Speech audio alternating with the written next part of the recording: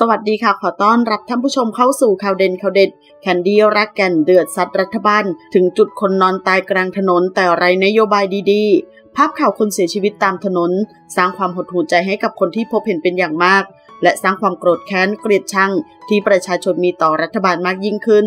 ด้านนักร้องสาวแคนดี้รักแก่นก็เป็นอีกหนึ่งคนที่ออกมาโพสเดือดหลังเห็นข่าว จะต้องเห็นคนตายอีกเท่าไหร่ ถึงจะเริ่มรู้ตัว หรือนี้เป็นเกม สะสมความเกลียดชังเหรอ ท่านคะ นี่ไม่ใช่เกม นี่คือชีวิตจริงค่ะ เลิกเล่นค่ะ ขอขอบคุณข้อมูลจากข่าวสดขอบคุณค่ะ